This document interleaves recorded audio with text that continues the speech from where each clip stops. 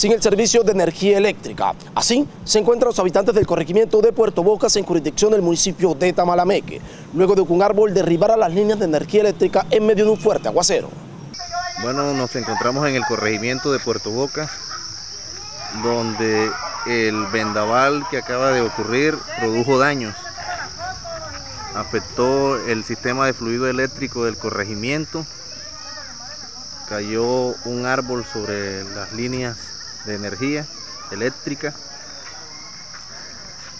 Y en estos momentos produce esta emergencia y un riesgo para la población. Como podemos ver, hay líneas en el suelo, estudiantes, gente que transita por las calles y vemos el sistema de cableado tirado en el piso atravesado en la vía entonces a las autoridades a FINIA les informamos para que nos brinden pronta solución.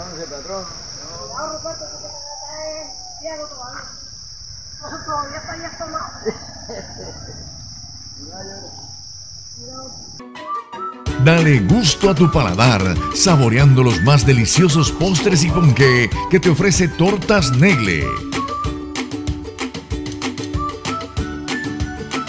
Elaboramos todo tipo de tortas, cupcakes, flan, bizcochos y todo lo que necesitas para tus eventos especiales.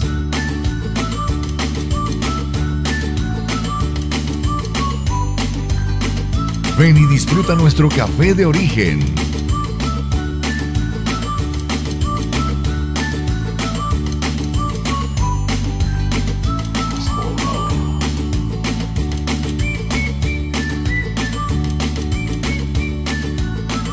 Visítanos en la carrera 10, número 1318, Barrio El Obrero.